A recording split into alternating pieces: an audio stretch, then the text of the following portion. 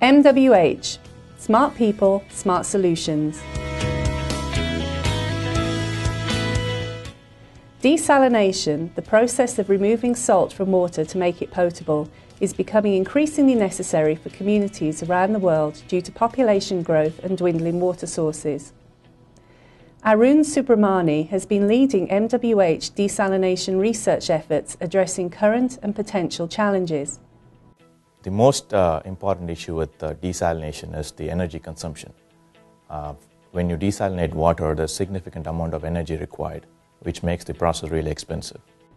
MWH conducted research for the Water Reuse Research Foundation, evaluating energy efficiency strategies concerning desalination. The key findings of the project were several components need to be put together for energy efficiency. The key components were a better system design, utilization of advanced membranes, uh, utilization of energy recovery devices, uh, use of high efficiency pumping, and also implementation of innovative technologies. The outcome of the research was a user-friendly guidebook for utilities detailing innovative technologies for optimum energy consumption during desalination.